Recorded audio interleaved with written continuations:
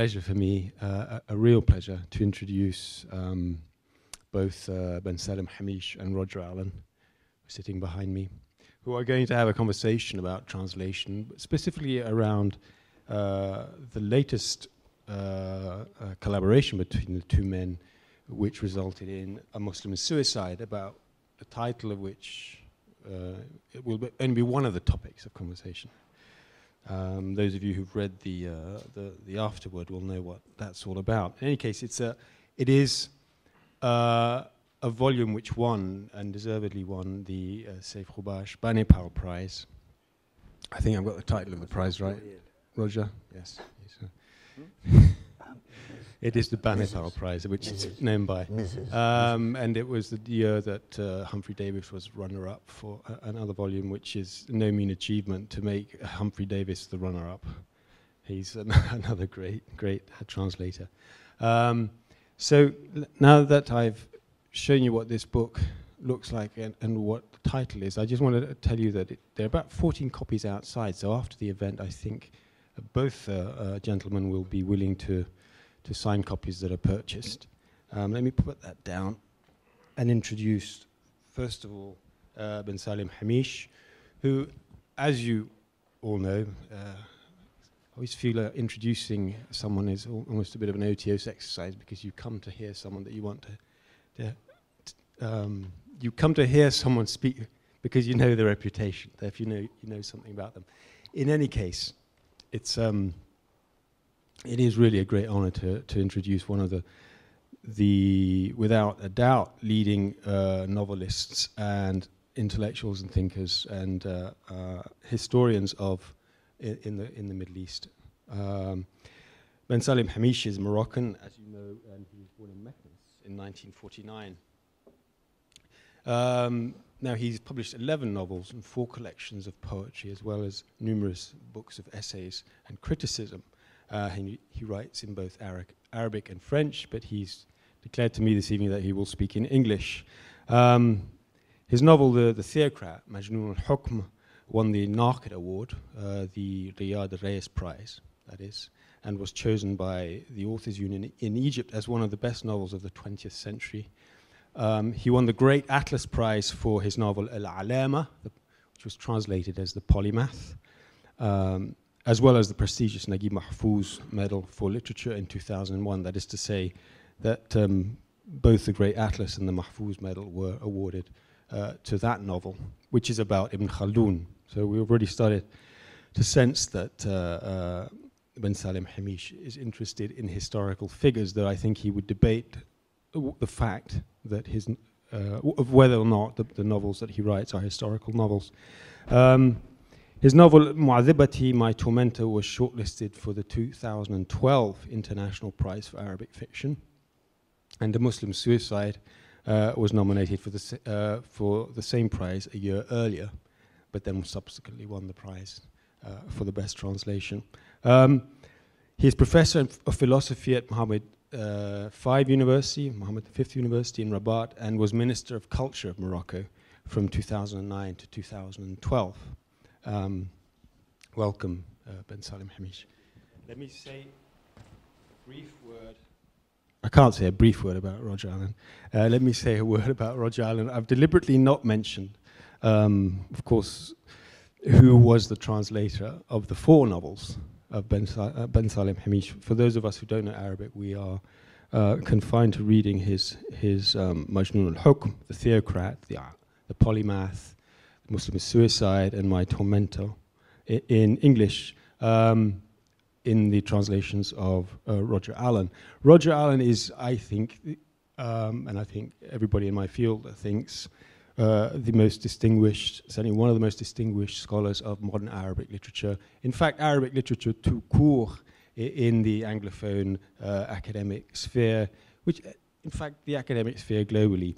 He he um, did something which no one did in, in his day as a student, which is that he studied modern Arabic literature when no one knew what that was at Oxford. In 1966, uh, I think he went up to Oxford, didn't want to read nothing but Ibn Khaldun and decided to read some modern Arabic literature when Muhammad Badawi was, the was appointed as um, lecturer in modern Arabic literature at the time. And since uh, he got his PhD in 68, I think he's been teaching ever since at uh, Penn University uh, for 43 years. Um, there's a story behind that which you might tell, but anyway. Um, so uh, he is, I would say, there are three aspects of his work that you should you should know about. First, his his commitment to Arab Arabic pedagogy uh, is, is is not really second to his interest in literature. He's he's written about Arabic pedagogy and always taught Arabic whilst teaching literature. Whilst teaching literature, I must say, at, at the highest level of theoretical uh, uh, frameworks. Um, he's well known for his work on the novel, the modern Arabic novel. Uh, uh, the Arabic novel, A Historical and Critical Introduction, is on every reading list uh, that any undergraduate and even graduate reads. He's famous, of course, for his um, wonderful book on Muwaylihi, which is a translation of Muwaylihi's third edition of Isa ibn Hisham, Fatrat min Zaman. And um, I'm very pleased to say that he's actually doing a, um, a complete edition of Muwaylihi uh, for the Library of Arabic Literature in a parallel text edition. Um, there's a, a remarkably detailed and interesting story behind that. So lots of stories um, um, hiding under the surface. But of course, Roger, as well as being a teacher of Arabic, uh, a scholar of Arabic, uh, his other great work is the is the uh, his um, Arabic literary heritage, which is a sort of a tour de force tour, in, a, in another sense, uh, of uh, the Arabic literary tradition from pre-Islamic Arabia to uh, the, uh, the, most contemporary literature.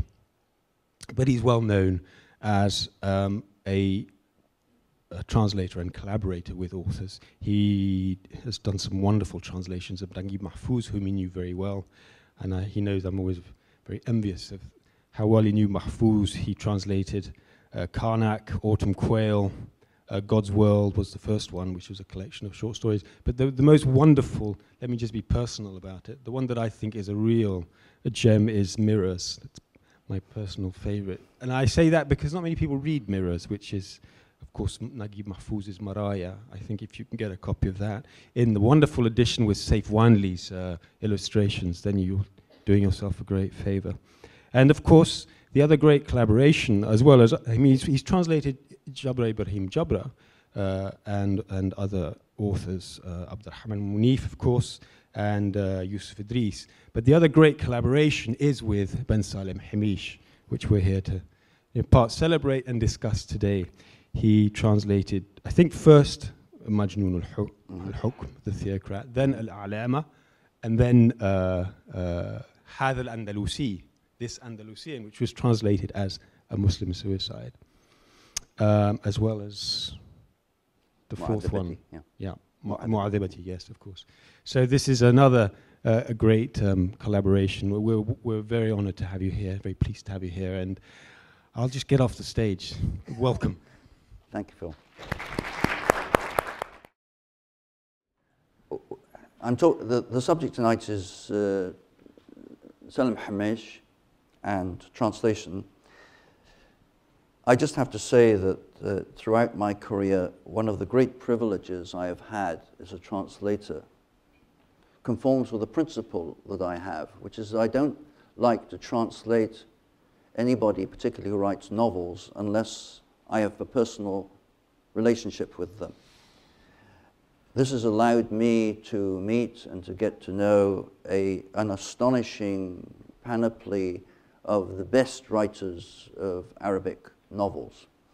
Uh, Professor Kennedy mentioned some of them. Naguib Mahfouz, Yusuf Idris, Jabra, Ibrahim Jabra, Abdurrahman Munif, May Telmisani, Hanan Sheikh, Salem Himmich, Ahmad Tawfiq, and most recently Ibrahim Al-Koni. So I really have had the opportunity to engage with an incredible cross-section of the genius of modern Arabic fiction and to engage in the process of translation. I'd like to spend a few entirely boring minutes talking to you about translation and translators before I proceed to talk about the specific novel uh, a Muslim suicide. I begin by talking about literary translation because, in spite of the best efforts of many American universities and their tenure committees, I am firmly of the opinion that literary translation is the highest possible skill of the literary scholar. And it's extremely dangerous to ask anybody who's not a literary scholar to indulge in literary translation. I, I make a distinction here between literary translation and literal translation. I'd suggest to you probably that literal translation doesn't exist. Namely, if I say to you, yumtir qitat wal kilab, um, that I think is a fairly exquisitely accurate translation of its raining cats and dogs. But while that may work in the English cultural context, uh, it certainly doesn't work in the Arabic context. And that, of course, is a reflection of the fact, fact that translation, and I'm afraid I'm an ex classic scholar, so I indulge in these boring etymologies. Translation is the act of carrying something across. Translation. What's being carried across is not merely language, but its cultural value. And in the current framework of post colonial studies, translation becomes particularly interesting because of the dimensions of cultural hegemony seen in particular policies that are made with regard to translation. One which particularly interests me is the process of translating names and particularly place names. What is the impact, one wonders, of the fact that the second volume of the great Thulathiyya or trilogy of Naguib Mahfouz in Arabic is called Qasr Shawq, which is the name of a street in Cairo. But in English, Palace of Desire evokes all sorts of images of the Thousand and One Nights and exoticism and so on. So, uh, alternatively expressed, when was the last time in English we heard about a street in Paris called the Elysian Fields? And if we don't hear about the Elysian Fields, what does that say about overt or covert assumptions about cultural hegemony? Literary translation, then, is a maximal act of interpretation, and it has to be, if the transfer process is to achieve in the target culture some of what the original text achieves in the source culture. Translation is also expansive, as I'm discovering in preparing the text for the Library of Arabic Literature series, where the fact that, of course, it's a parallel text, in other words, the English is on one side and the Arabic's on the other, implies certain limitations on the amount of expansion that the translator can indulge in. As Umberto Eco has shown in a wonderful book, which I recommend you, called Mouse or Rat, which is a study of translation. It's also unidirectional. In other words, in this book, Umberto Eco takes one sentence from his famous novel, The Name of the Rose, and translates the English version into Italian. He then takes that Italian and retranslates it into English. He then takes that English and converts it back into Italian. He does this six times. And by the time you get to the end, the, it's, it's rather like that process, you know, of telling somebody a joke and sharing it round a circle and coming back and seeing what the joke sounds like at the end. In other words, you, you can't retranslate, uh, particularly, I'm talking primarily about literary texts here. I'm not talking about mechanical translation of 2 plus 2 equals 4, which I'll admit probably is translatable without necessarily a massive act of interpretation. Um, I move on now to talk a little bit about translators, because while I don't expect you to get out your handkerchiefs and weep tears, um, the status of translators is, in some cases, quite problematic, uh, particularly for literature scholars. There are a variety of contexts within which translation may occur. The bulk of translation activity occurs with individual translators, probably working, as I do, with uh, authors, and particularly fruitfully in this case, with my wonderful friend and colleague, uh, Ben Salem Himmich. Uh, I've also translated with a second translator who is frequently an Arabic native speaker and have interesting discussions. Particularly the two translations of Jabra Ibrahim Jabra that I did were done with a, a second uh, translator. One of my most memorable experiences was based in the wonderful Spanish, previously Islamic city of Toledo, which, as you, as you may or may not know, is the center of the European Center for Translation, based in the very building that was the place where Archbishop Raymond founded the famous School of Translation in that particular city. This was a project called Mémoire de la Méditerranée, or Dhakarat al-Mutawassit in Arabic, where uh, under the aegis of the European Cultural Foundation, a decision was made by a committee to translate the same work of autobiography or memoir into six languages, six different languages, simultaneously in the presence of the author as well. This, of course, was a fascinating experience in, in cultural transfer. The one which I translated in this series was by a young Egyptian named May Telmisani. The novel was called Dunya Zad, and among the languages involved, in addition to my English, were Italian, French, Catalan, Spanish, and Russian. So each of the translators was present there and was talking about the problems of transferring the Arabic into that particular language.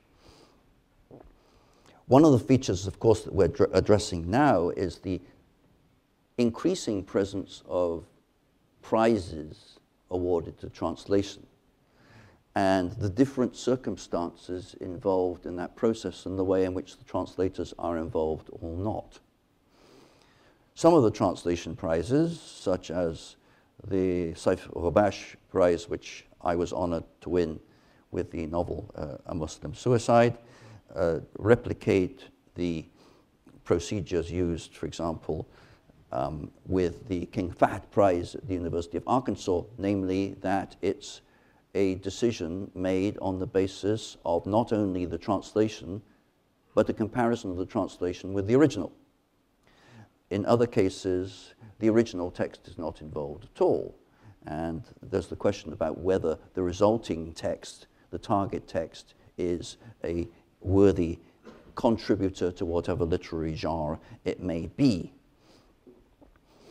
One of the most fascinating things for me in the translation process is what translation theory calls the intertextual stage. In other words, what exactly is the process whereby the translator goes through the process?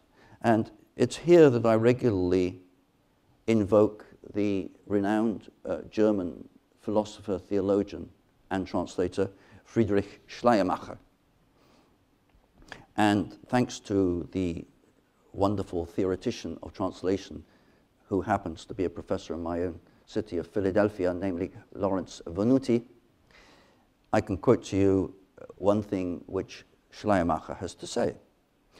Either, or either, the translator leaves the author in peace as much as possible and moves the reader towards him Or else he leaves the reader in peace and moves the author towards him. In other words, the question is in translation, are you domesticating the text or are you foreignizing the reader? This, of course, takes us directly into the process of the reception of translation, translations. And I mean by that not only the practical aspect of marketing and perceived readerships, and believe me, as a translator, I can tell you that publishers in the Western world are maximally concerned about markets and readerships. Edward Said has a wonderful quote, which you may know if you've read any of his, um, the, not his major works, but the collections of his essays, which were put together later. The New York publisher who said that they couldn't publish any works of Arabic literature because Arabic was a controversial language.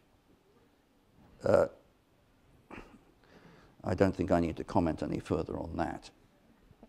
But this process of reception is a problematic area. And I'd like to focus on two particular issues here. The firstly takes the form of a quotation from a Swedish comparative literature scholar named Horace Engdahl.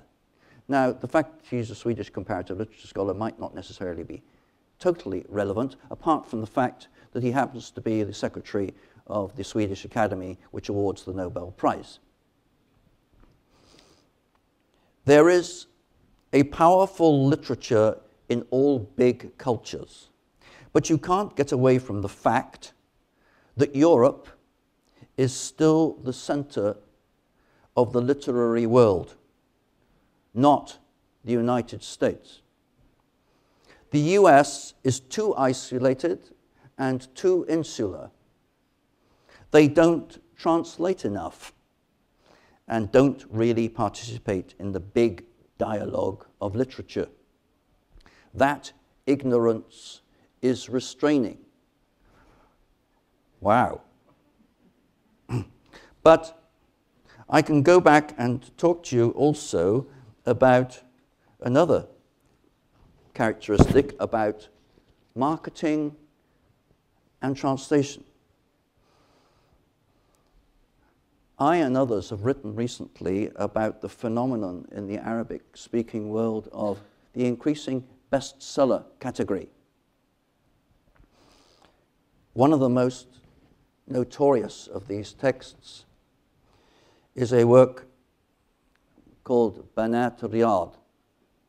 I don't know if any of you have read it. If you have, I sympathize. Here is what the translator of the text into English has to say. The translator is my wonderful, esteemed colleague, Marilyn Booth, a, also a major translator of Arabic texts into English. Perhaps the largest scandal, however, is that for some publishers and writers, literary translators remain derivative servitors rather than creative artists a notion fostered by a long tradition within Euro American letters of the writer as solitary genius, except, alhamdulillah, Salim is certainly not a solitary genius, I can vouch for that. And translation is a mechanical exercise, now enhanced by the star system of today's publishing businesses. That the press and author of this work, Penguin Books no less, did not take my professionalism seriously or listen to my warnings that their choices would lead to an inferior and infelicitous project will not come as a surprise to any translators. So, the translation process, as we know, is a maximal act of interpretation.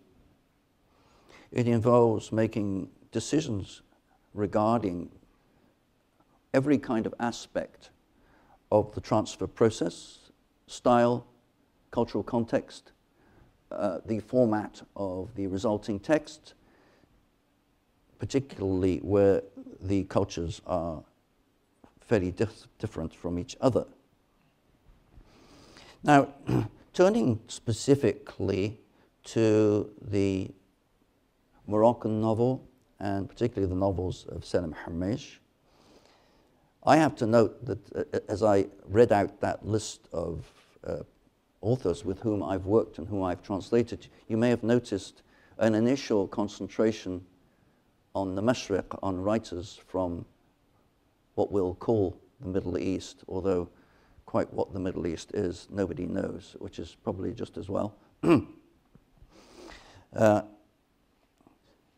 but it was after the publication of a volume of the Cambridge History of Modern Arabic Literature, the one edited by my esteemed supervisor, Mustafa Badawi, when some of my colleagues from the Maghrib pointed out that the entire History of Arabic Literature project of Cambridge basically ignores the Maghrib entirely.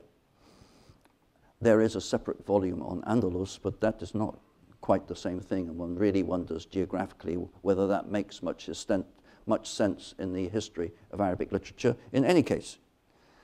But I simply want to say, by way of preface here uh, to discussing the, the, novels of Salem Himmich, that I made a conscious decision uh, about 15 years ago to put behind me the ongoing concern with Egypt as Umm Dunya and everything else which Egyptians like to say about Egypt, and to actually concentrate on writings in the Maghrib and particularly on writings in Arabic in Morocco. And I'd hasten to say that while I am aware of the wonderfully rich Francophone tradition of Morocco, I am primarily concerned with the Arabo, Arabophone tradition of Morocco. In this context, I have to suggest, as I've suggested in several venues, that in claiming, as many of us do now, to be experts on something called modern Arabic literature, that while I may have been able to get away with that claim when I started in 1964,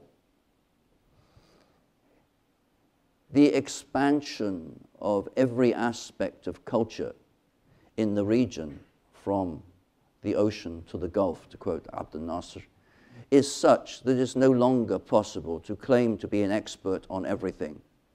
And indeed, there is a great need now for a much different kind of specialization. I'm not necessarily talking about geography. I may be talking about literary genre.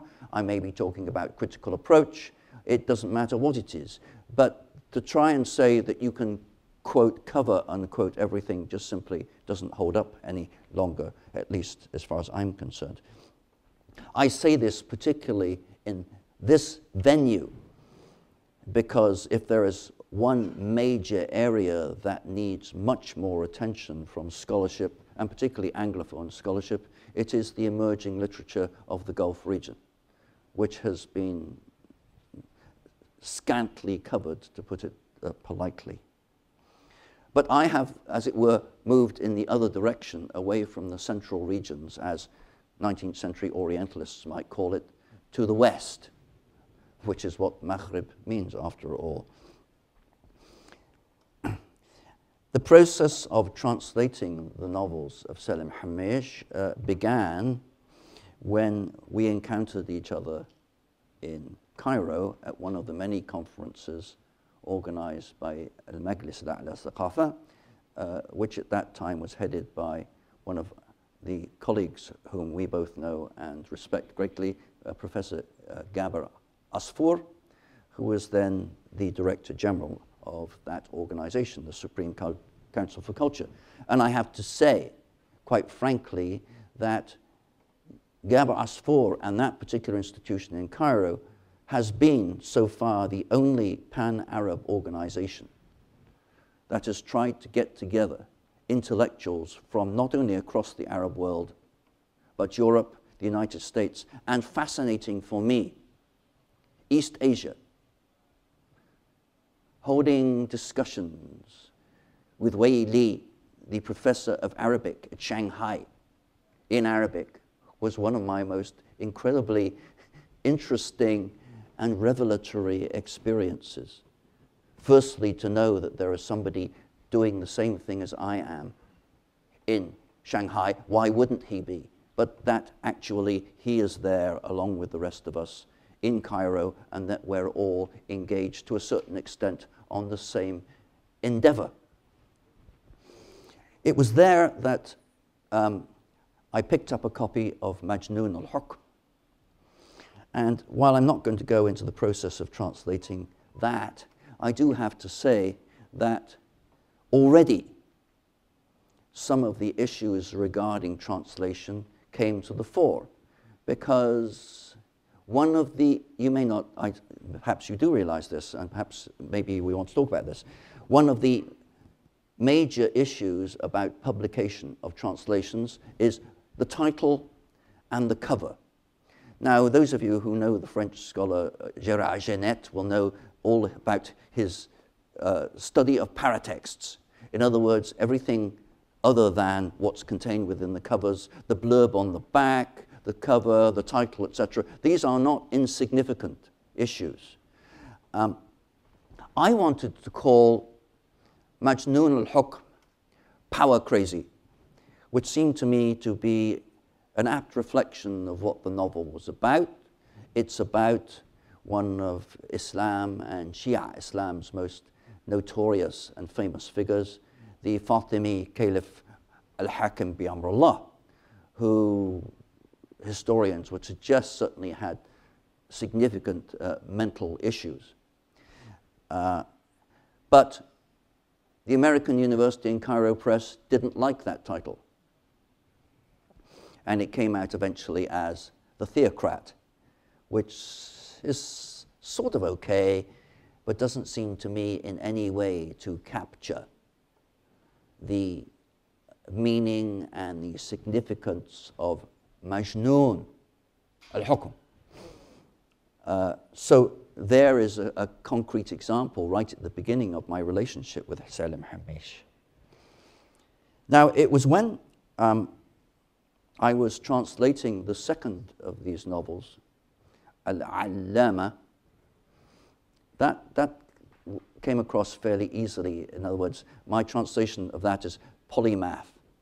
Seems to be fairly close to what the Arabic seems to be implying, and certainly fairly close to the status that Ibn Khaldun, the great theoretician of history, the role he plays in the, the history of not merely Islamic thought, but Western thought as well. Allegedly, the pioneer in the, uh, uh in the preparation of a social scientific methodology if you like, a, a more synchronic uh, view of history, getting away from a more analytic approach. It was while I was translating that that Salem Himmich and I again met in Cairo. And he knew that I was translating this, and he has this habit of, of doing this whenever we meet, which is that he tells me what he's doing next. And he told me, I'm trans- I'm doing a new novel. And he said, This new novel is about Ibn Sab'in. Now, I didn't know anything about Ibn Sab'in at that point, but uh, I've since learned rather a lot by translating th- this particular novel. And he said to me, uh, I've decided to entitle it Al-Intihar bi Jawar al-Kaaba which is translated, I suppose, as uh, suicide um, alongside, or something like that, bijouar, uh, the, the Kaaba. And I said, that's a very catchy title indeed. Um, but I'm not sure maybe whether that's going to fly particularly well in certain segments of the Arabic speaking market. I just uh, made that suggestion and um, didn't take any further part. And then when I was sent a copy of this particular work, I look at the cover and see that it's now called Hadha al-Andalusi. So perhaps my cautionary words uh, may have had some effect, I don't know, but certainly um, I proceeded to translate it and I sent it to Salem Himmich and said, I've chosen the title This Man from Spain as a title. Fairly close to Hadha al-Andalusi, not too bad, unless you want this Andalusian or something like that, but fairly close. And he wrote back immediately and said, I don't like that. And this is, by the way, in anticipation of a regularly asked question regarding this work is to how could I, as the translator, offer such a radically different title than the one in Arabic? The answer, of course, is it's not radically different, and that the title, A Muslim Suicide, is the personal choice of its author. In other words, going back precisely to the original title he had in mind, uh, but that he didn't wish to use, or that somebody didn't wish to use in its Arabic context, but that the Western version of it indeed would replicate that. Welcome to some of the issues regarding the translation and uh, the process of marketing and publication.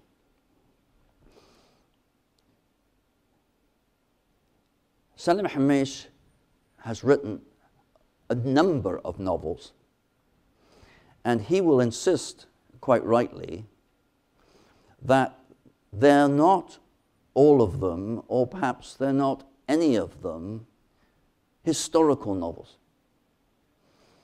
This replicates, of course, the writings of the great Hungarian critic uh, Lukács, Georg Lukács, who in, a no- who in a book called The Historical Novel notes that he's not convinced at all that there are things called historical novels. That in fact there are novels which may treat history, but in a certain sense, every novel either is or becomes historical. Uh, Dickens is historical, representative of his time. Jane Austen is certainly historical, a representative of her time. Naguib Mahfouz, above all. I've written articles pointing out that the trilogy goes from 1916 to 1944. It's in the book, you can read it. So, yes, it's historical. And what about Habibi's Al Waqa' al Ghariba, Emil Habibi, which is very specifically divided up into segments based on the Palestinian experience? And that the, the last segment of Al Waqa' al Ghariba is the post 1967 period. The others are pre 67. So, Salem Himmich would insist, and I would agree, writes novels. Now, it so happens that the three that I've translated and published so far are all about figures from Islamic history. And they make use of a variety of different kinds of texts, some of them actual texts drawn from historians, others of them pastiches of texts. This, of course, belongs to a trend which we see beginning perhaps in the post 67 period with Jamal al and his Zini Barakat, which is available, incidentally, for those of you interested in it, in a wonderful English translation by my now regrettably late colleague Farouk Mustafa of Chicago. This, of course, makes the translation process that much more complex because you have to decide on particular levels of style to be used according to the nature of the text which you are currently dealing with, and that the texts are not all the same. One of the major challenges of a Muslim suicide is the fact that this amazing character, Ibn Sab'in, so called because he had in his original city of Murcia 70 devotees. Uh, his real name is Ibn, uh, Ibn Dara al-Andalusi. I, I wonder, um, uh, it, it's fascinating, he is born in exactly the same city, Murcia, as Ibn al-Arabi, perhaps an even more famous name. And I, am I'm, I'm led to ask myself, what, what is it about the water in Murcia that produces some of the most amazing thinkers in the entire history of Islam? Some of the major radical, heterodox thinkers who really challenge some of the orthodox bases uh, prevalent at the time. And what interests me is one of the authors who Salem Himmich quotes at the end is none other than Ibn Taymiyyah, seen perhaps as one of the more, uh, the more major figures in the process of uh, trying to rein in the more radical ideas of certain Muslim thinkers. So translating a Muslim suicide was a huge challenge in terms of the variety of texts involved. Halfway through his life and his journey from Murcia to Mecca, and yes, the historical record shows that when he is challenged by Zahir Baybars, extremely fundamentalist in his views, he waits till Zahir Baybars has performed the Hajj to Mecca, then he says, okay, and he goes to the Kaaba and commits suicide at a very early age. That is part of the historical record. But the, the process of dealing with these different phases in his life is most represented by the fact that his primary devotee is one of the most famous Sufi poets writing in Arabic, namely Ashushtari. And believe me, translating Ashushtari's ecstatic verse into English really was a major test of the translation exercise. I just want to finish before I let the pr primary author talk here by saying that uh, I've also now translated another novel. And it's in the context of that that I want to make it clear that Salem Himmich is a novelist. He writes novels of all kinds. Mu'adhibati, which, for which uh, we've just been discussing this, I have coined a non existent English term, my torturess, is an account of the extraordinary rendition. I don't know if you're familiar with that term. It's a rather nasty phrase, uh, uh, rather like termination with extreme uh, uh, it, uh, prejudice, which was during the Vietnam War for killing somebody. Extraordinary rendition is the process whereby certain members of certain inhabitants of Middle Eastern societies were rendered, meaning flown to black sites, to various prisons where they were tortured. And this is the subject of this highly controversial novel, and I will be very interested to see what happens if and when it is published in English, because it will stand to be, when it's published, probably one of the very first works of fiction to actually address itself to this subject, which has rather been swept under a rug. Um, so, by the way, um, Salem Himmich this morning gave me a copy of his latest novel. and uh, I haven't read it yet, but I will, and we'll see what that means. But um, I, I, hope this has been something of an introduction to the, the problems of translation itself, the status of translators, the com complex situation in which translators work now, which, which is, it, it, it's complicated, but I think it's also exciting. It does have its frustrations, particularly when you're dealing with publishers, I will confess. Not uh, the Library of Arabic Literature, I hasten to, looking at Phil, um, but um, trying to publish certain novels in the context of assessments about what publishers think that readers in particular Western cultures are prepared to negotiate with.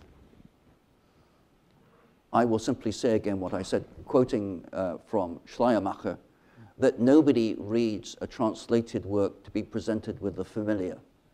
And if they do, they probably should read Danielle Steel or Judith Krantz or somebody else instead the process of reading a translation from a foreign literature is and should be a confrontation with the unfamiliar. It should be a confrontation with difficulty, uh, quoting the Russian formalists about poetry perhaps, but if it's not that, then what's the purpose of it in this uh, increasingly multicultural global society and in the context within the post-colonial period of attempts to dominate one culture with another. And with that subversive thought, I will now stop and hand over to Salem Himmich.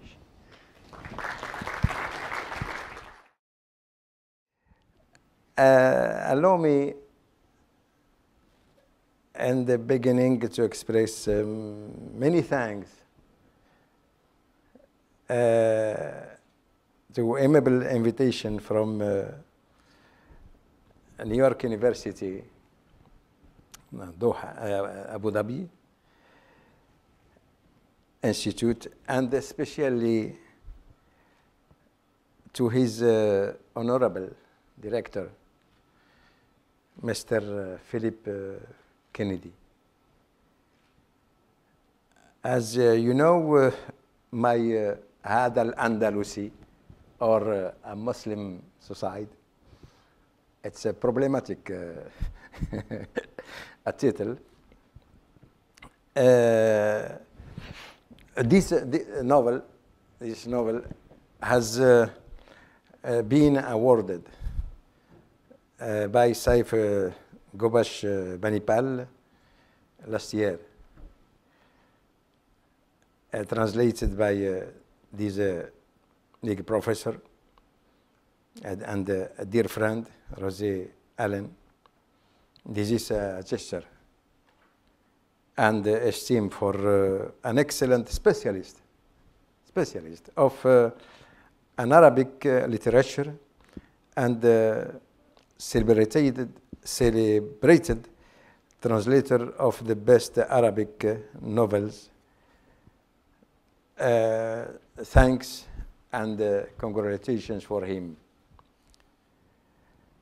Uh, I must uh, say uh, some words about this personal, uh, very exceptional, very, very extraordinary Abdul Haq ibn Sab'in, born only three days after the crossing uh, Al Muhad and uh, the fate at uh, Las Navas de Tolosa in uh, 1220, Abdul Haq ibn Sab'in of Murcia in Spanish, Andalusia, was uh, to live, live only the second phase of the rule of the Taifas king list. A rule punctua- uh, punctuated, by sporadic Muslim Marinid jewels that we are that were limited and ephemeral. A powerless witness of a depressive temporality and of the irreparable loss embodied in the agony of Al Andalus and in the sharp and repeated proud of the Iberian Reconquista. Ibn Sab'in will uh, on an unstable and tormented life, a life reflecting a profoundly hurt for where, where Martin, uh, morning collective uh, psyche. His name is uh, a pseudonym, meaning son of 17. Number which, uh, in relation to ancient Arabic alphabet, means the lunar circle, just as his other surname of Ibn Dara. Denotes a valiant knight, chevalier. As far as he is concerned, all these rhymes weave a man who wears around himself and around others to the point of convulsive nausea and loss of consciousness. Hence, uh, his uh, aversion for all kinds of vile and decadent people. And his ardent desire to continually transcend himself. It is from this state of man also that we can explain his total lack of adjustment and his acute sense of cherio, cherios, kuro, and internal life.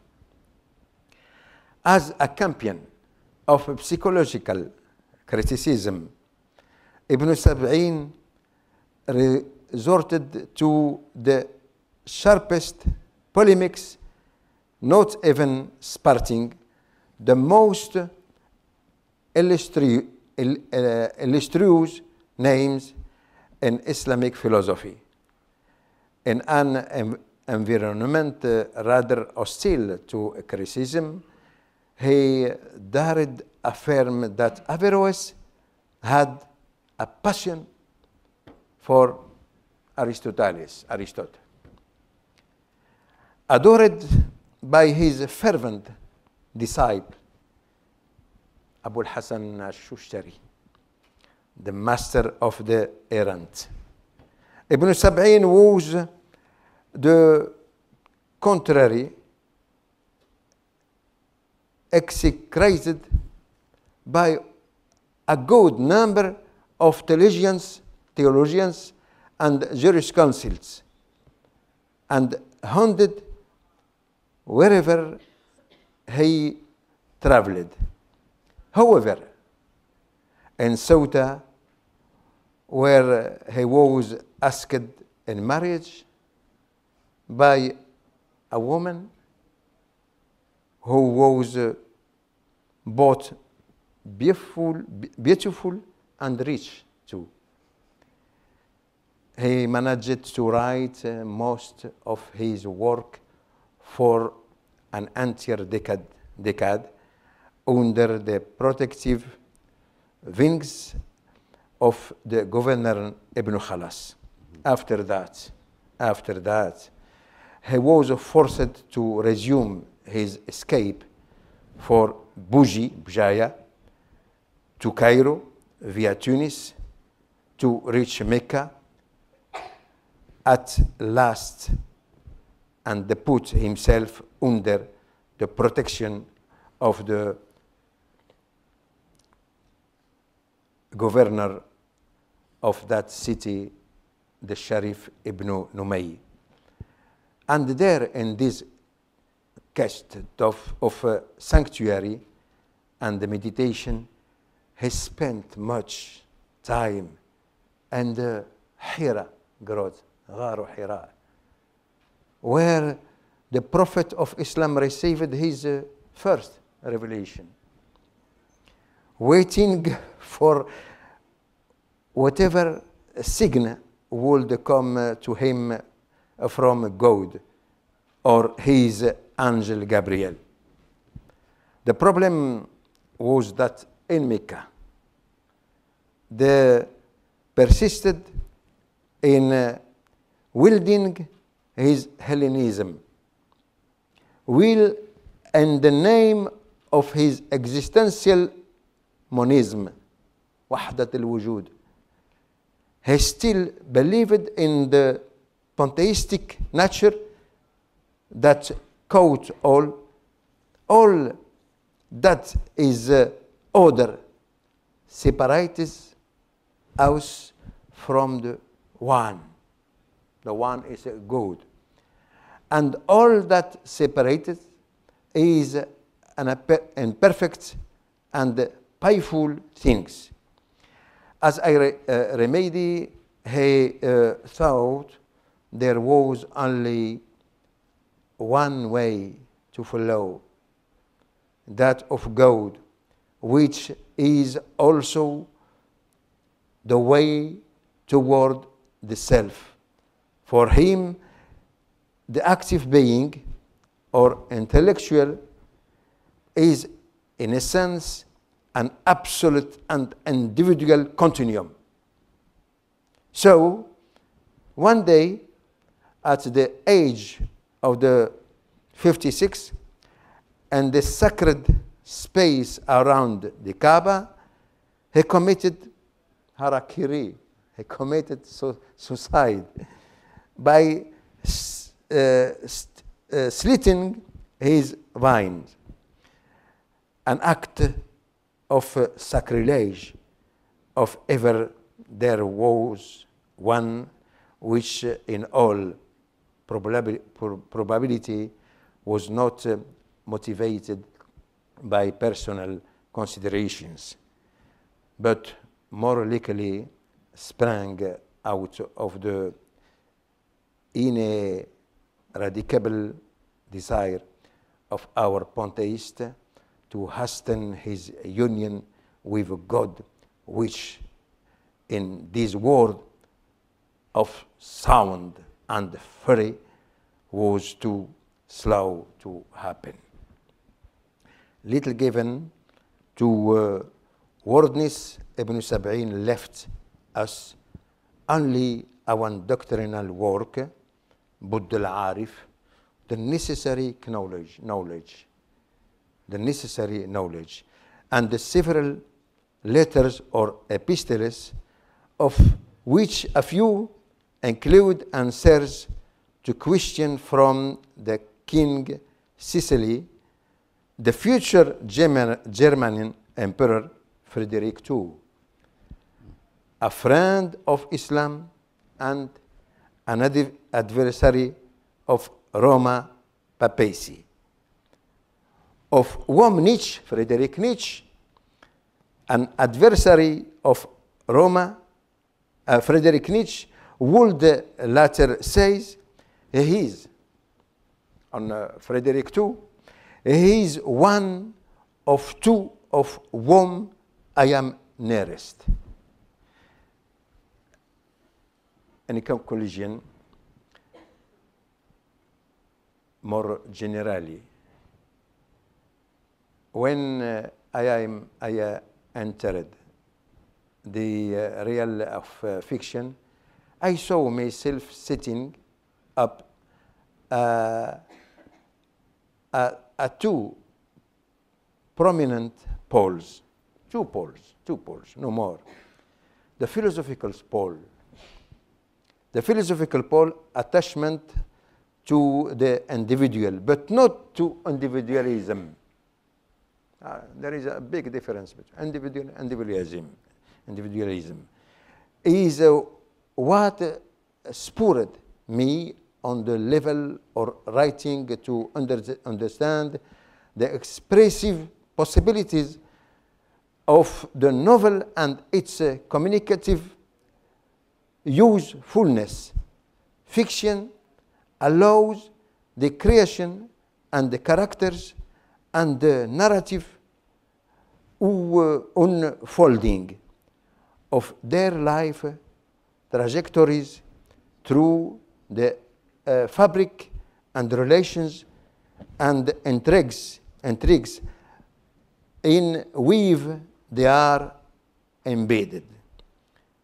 In more than one way, I find in the novel strong semantic ties with informal philosophy revolving around existence and being. It process, processes the most fertile grounds uh, for reflection and human issues in uh, its liminal manifestations. The novel relates fundamentally to modes of meaning or their absence. In uh, the dialectic of life and the death. Finally, the second, the, the, the last uh, uh, pole, I, I see everything as heritage, everything. That is as a story for even what we produce today will be one day transformed into heritage. Like uh, all historical systems, the heritage itself is exposed to changing times and to the test of persistence and survival. Some works become uh, prominent as their extraordinary inner drive provides uh, them with uh, a force that uh, catapults them beyond their time and place. Synchronically, they uh, exist, exist on a level whose depth and uh, extent every knowl- kn- knowledgeable right recognizes, namely their, their uh, atemporal, uh, temporal contemporaneity on this level, varied aspects of creativity from all culture and epoch mates. Uh, I am very, very sorry uh, if uh, my pronunciation is uh, not uh, uh, as good as I hope, but um, for me it was necessary to try, to try this speak in this very fine and uh, beautiful uh, language, uh, en- English. And I ask you a little tolerance. Thank you very much.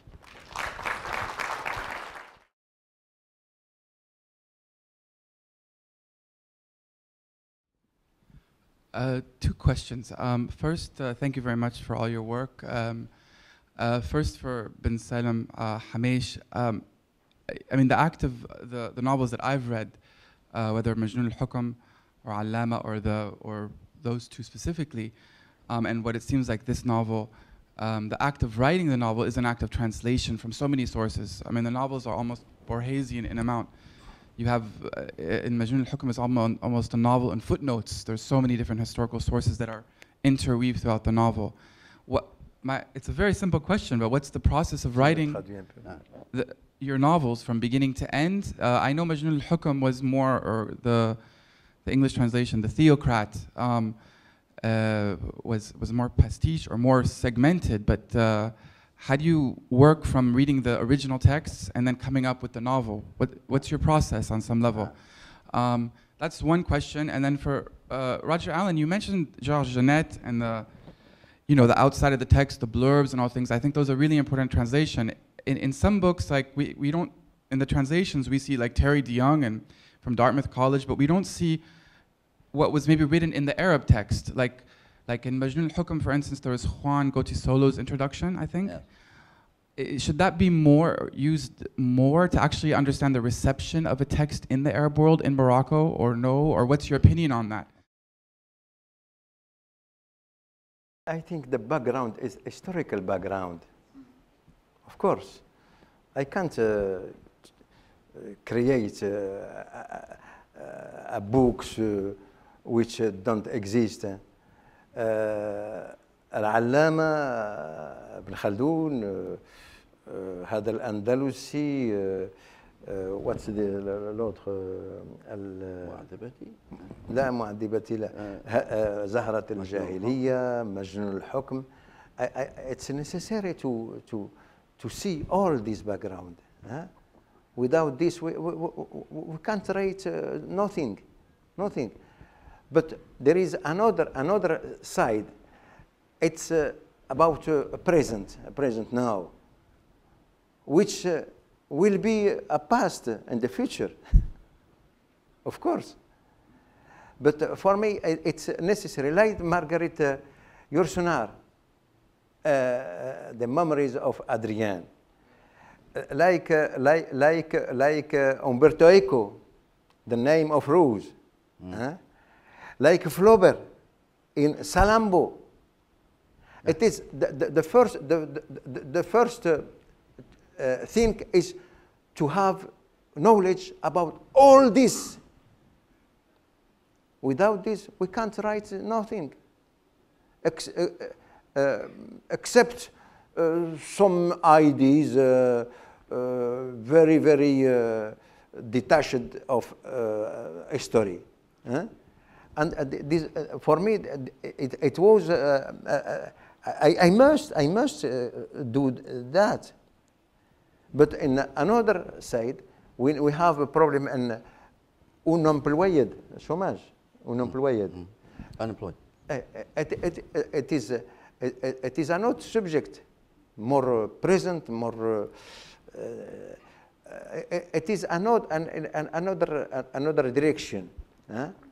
We can, we, we must uh, uh, say how uh, uh, uh, sociology says, uh, a story, a social soci- story, uh, uh, but uh, when you have a personality, historical per- personality, the, the, the, the, to consult all we have, well, we can uh, uh, uh, uh, read. And uh, this epoch, this character, it's very, very, very, very necessary. Uh, with this method, this way method, it was uh, very, very old with, for- all historian, specialist, huh? Documents, uh, all uh, books uh, written about this epoch, about this hero, or this character. It's the same for a novelist. Okay, um, I would follow up on that by pointing out that um, the, the no, I, I- I know. I, uh, in the post 2011 era, the, the notion of the explorations of the nature of power and corruption is not only a historical phenomenon. It reminds me of George Santayana. Those who don't know history are condemned to repeat it. And I can, I can see basically, what, particularly uh, with Tolstoy, Tolstoy's War and Peace is a massive exploration of what historians didn't get right. And there are whole chapters about of that novel which are about writing history. But the, it's an interesting question about paratext, because you see, that, in a sense, your question is part of the problem, because every time now uh, I submit a translation to a press, it's sent out to readers in the target culture. And the blurbs on the back are almost always extracts from the reports which are written, which you hope are favorable. Therefore, it would be very nice, of course, to have opinions from the source text, but that's not part of the marketing strategy, marketing strategy in the target culture, which is in itself a, a- problem with regarding the, the current situation, regarding the, how translations are evaluated and then marketed. It's just, that's the way things are. I mean, no, I, I, I am guilty of having, I, I, I've retired from my university career now. I can spend my entire life writing blurbs. I mean, I do spend half my time writing blurbs for other people, which is, you know, I get to read and stay in touch with what's going on, but uh, I'm, I'm frequently asked to read a text in order to write the blurb. And I think, well, no, maybe I wouldn't actually want to read this text, but here I am. But th- that, that's one of the realities of uh, publication today, uh, particularly of translations. how yourself when you translated this novel and the other novels how, did you go back and read all of ibn khaldun too or go back and actually look at all the historical texts that are mentioned and just study i mean how do you yourself do you prepare yourself for a couple months like a boxer before the translation is it that kind of uh, or it's just a really slow process because it's uh, i mean i think i think you mentioned i just saw quickly that you said the word difficult you mentioned in your speech how do you confront the difficulty in a i guess in a more micro level I'm I don't. asking. Yeah, in in the case of these novels, the very process of introducing unfamiliar cultural context required me to do a great deal of research. Um, and one of the narratives, one of the strategies of publication and translation, of course, is that almost all publishers refuse to allow you to have footnotes in the text. So this is where the, the dreaded glossary comes in.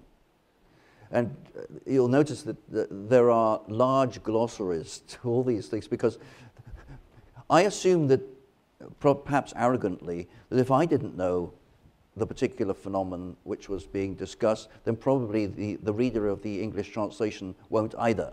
Yeah. So, um, yes, it, I won't say that, like Jamal, I once ran into Jamal Ghitani at a, at a, at a conference in uh, Holland, and he was writing, and I said, Oh, are you writing your next novel? He said, No. He said, I'm practicing to write in the style of Ibn al Arabi because his next novel was to be Kitab al-Tajalliyat, where he indulges in pastiches of a particular. I mean, that's taking things to a certain level. No, I, Professor Kennedy will know this. Uh, yes, I read extracts from Ibn Khaldun for the BA degree in Arabic at Oxford, but I did not go in and indulge in a wholesale reading process. Although I did, in fact, have to go and look at Ibn Khaldun's Ta'rif because the whole section uh, of the meeting with Timur Lang uh, during the siege of Damascus is indeed founded on that particular account. Yeah. But after, after, after to, to, to group and to remember and to, uh, to, to have a knowledge uh, of all manuscript, all uh, texts from historians, the, the, the indeed the, the, the, uh, works begins. What is the, these works? The fiction. The fiction. For me, uh, George Zidane, it's very, very, very heavy, very, very, no. And the, the trilogy of uh, Naguib Mahfouz is the same case. Huh? It, it's the, the, the first matters. But after that, the beginning, the, the, the work of a novelistic begins. It's mm. clear. Mm. There's no doubt that you had a great collaboration with Naguib Mahfouz, and, and there's no doubt that you have a, a wonderful collaboration uh, and fruitful one with Ben Salem Himmich. But I'm wondering what, at what level that collaboration exists. Obviously, it exists on the level of that, that enormous trust that must exist between you uh, for Ben Salem to trust you to to translate his novels. But uh, what what contact uh, exists between you and and especially creative contact during the process of the translation, if at all? Yeah. Or is it just that you take the manuscript and then you deliver it to? It's varied quite widely. In other words, taking the extreme example, May Telmisani's Dunya Zad, um, she was there with the six translators for two weeks. And she would read through the Arabic texts, and then we'd all start yelling and screaming about what that meant and uh, would exchange views. So that was a direct involvement. Um, you may know that Jabra Ibrahim Jabra, the Palestinian novelist, poet, critic, musician, artist, everything, um,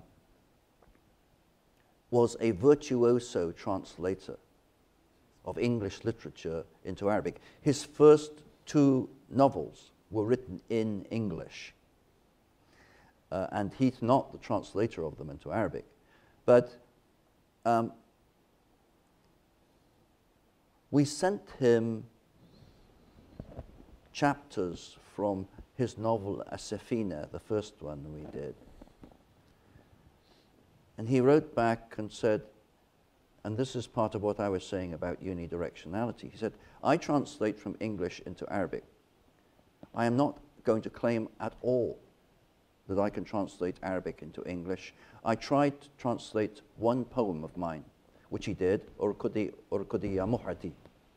Translated, he said, I don't like the English. It's not the same as my Arabic, and I, I wouldn't want to do that. I, would, I don't want to be responsible for a translation to English of something I wrote in Arabic. So he said, I have some suggestions, lots of suggestions, about the interpretation of his Arabic text into English. But he said, You are the translators. And if you don't think that my suggestions are any good, then ignore them. But with most of the other people, I'm looking at my list here. Oh, Hanan. Hanan was very closely involved in the translation of, um, well, in Arabic, it's Hikayati Sharhun Yatul, which is, was probably the, the, the biggest time. It comes out in English as The Locust and the Bird. You want to talk about changing titles. That, again, is the author's choice of, of title because Bloomsbury, well, Bloomsbury, there's a, I, could, I could write a, a, probably a novel of my own about working on that particular text and the publication of it. Bloomsbury began by saying they didn't like the uh, third person narrative, um, which is Hanan telling her mother's story in her mother's voice in the third person. So the, the, the text which has come out now has an epilogue and a prologue in the first person, where Hanan introduces my translation with her own first person thing. And Bloomsbury thought that was much better.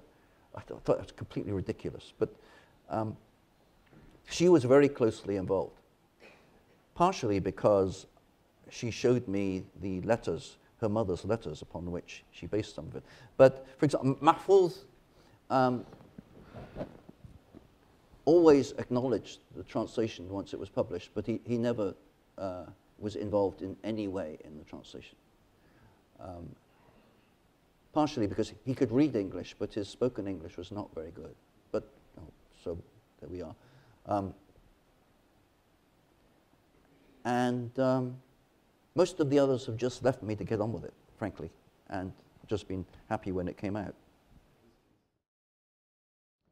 For the suicide, the, the, the, there isn't a problem suicide. It's a very human uh, question. When you have a chief of an enterprise and uh, her enterprise fall down, down maybe uh, though uh, harakiri, mm. but another, another uh, it, it is another motivation. For example, a resistant and to hands of uh, Gestapo. Mm. He must uh, though uh, give all numbers of his another resistant.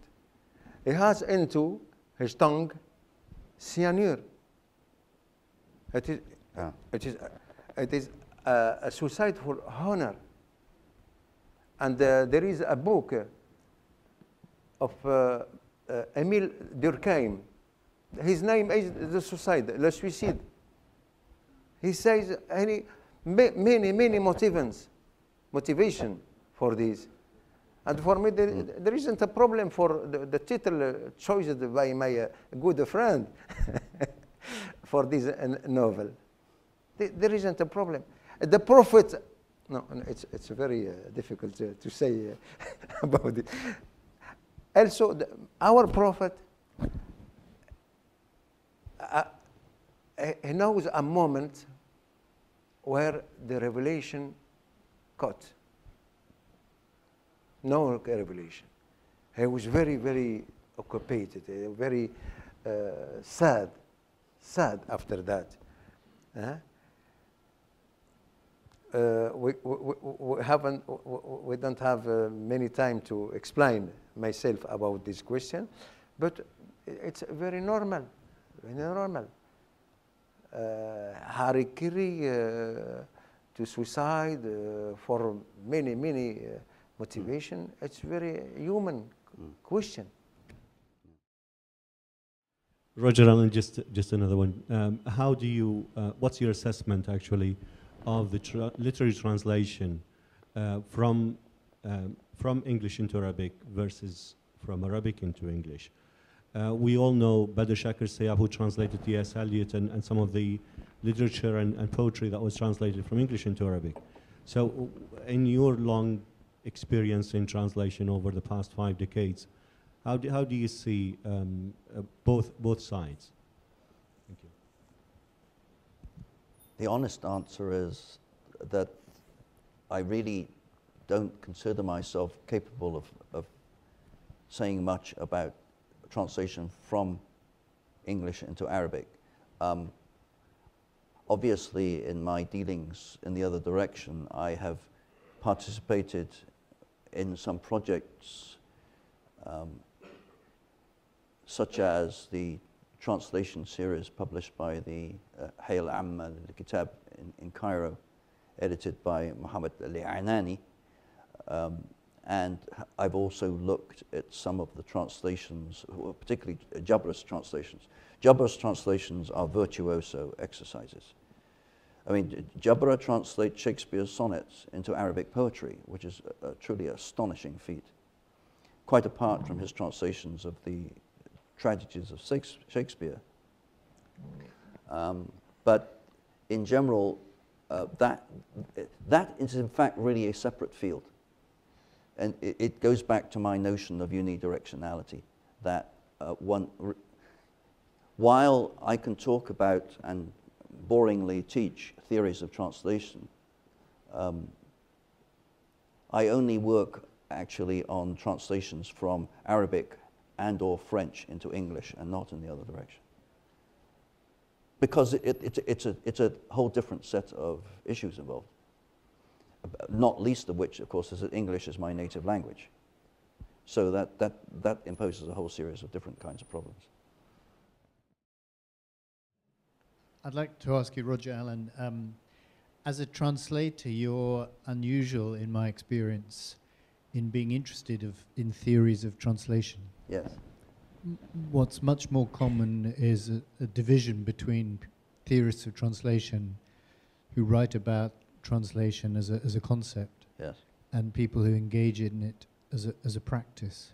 And you're very unusual in, in, in broaching that divide. And I, I was just wondering how far that you, you feel that might have affected your practice of, of, of translation, how, how important that interest has been to you as a translator? That's a, that's a wonderful question, and the answer is I think it's had a profound effect. Uh, I would say now that the, the, the, translators from Arabic to English, who I consider the most proficient, um, are all people who are becoming increasingly aware of the sophistication of translation studies as a, as a discipline in its own right. Uh, for example, uh, I mentioned Marilyn Booth. Marilyn Booth, like me, teaches a course on the theory of translation. And when you, when, when you get into discussion of translatability, whether it's Walter Benjamin or whether it's Eugene Nida or whoever it may be, and talk about the different phases of translation, then the, the, the process of applying it, for my purposes at least, is much more meaningful and much more significant because you're aware about some of the principles behind what you're doing. Uh, this goes back to a certain extent to what Marilyn Booth was saying, that the, the idea that translators are sort of hack people who translate by the word or the page or the hour or whatever is simply not the case. Uh, my wonderful, the, the, best translator of Arabic poetry into English, uh, pre-modern Arabic poetry, is Michael Sells. And he used to be my colleague in Philadelphia. He's now at Chicago. But he would spend um, two months going over a single line again and again and again. And if you read his wonderful collection, Desert Tracings, Desert Tracings is the one book which has translations of early Arabic poetry that I want to give to anybody who was not in Arabic studies and therefore required to go through the torture of reading Arberry or somebody like that.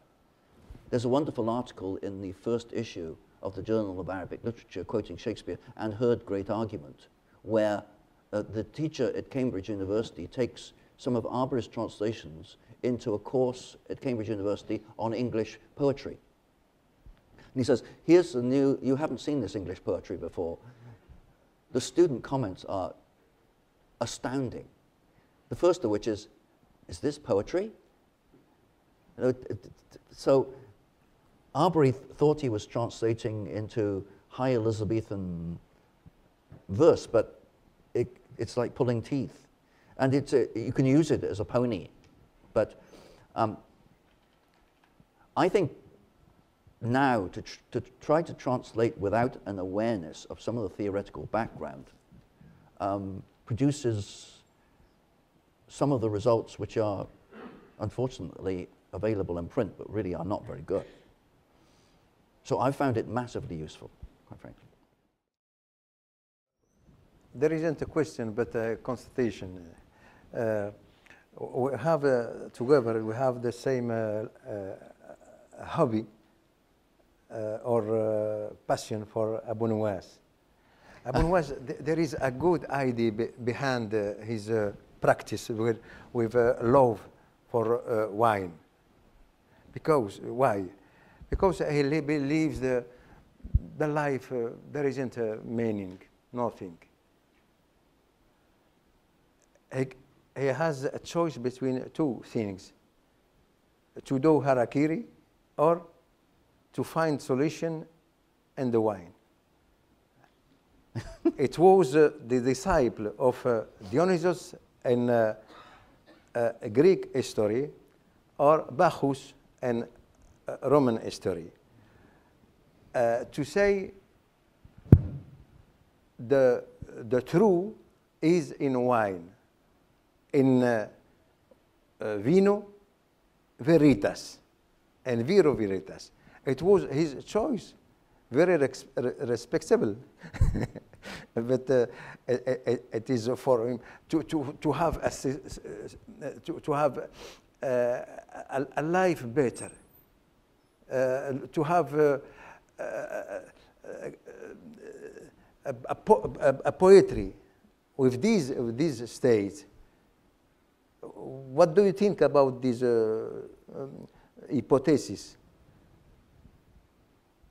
About Abu Nuwas. Well, Yeah. I, I, I, personally feel that his wine poetry, um, which he wrote at the beginning of the ninth century, um, a lot of it, I mean, there's a huge diwan, or in his diwan, which is the biggest diwan of the classical period, Mhm. has a huge whole volume of, of wine poems.